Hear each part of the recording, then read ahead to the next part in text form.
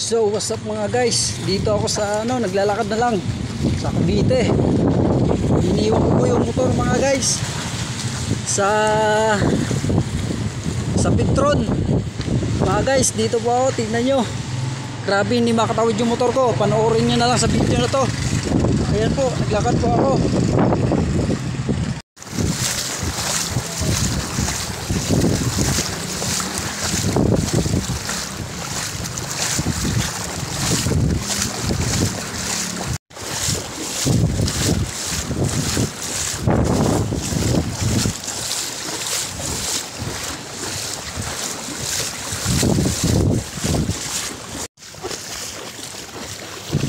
Hello mga guys, dito po ako naglalakad sa daan.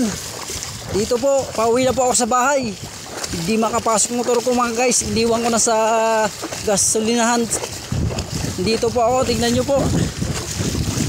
Grabe mga guys. Hanggang bewang na ba guys? Hanggang bewang na. Kaya hindi ko na inan yung motor ko. Iniwan ko na lang sa gasolinahan. Pero naka-safety naman yun. Tropa naman nagbabantay. Panoorin nyo sa video guys. Ayun guys.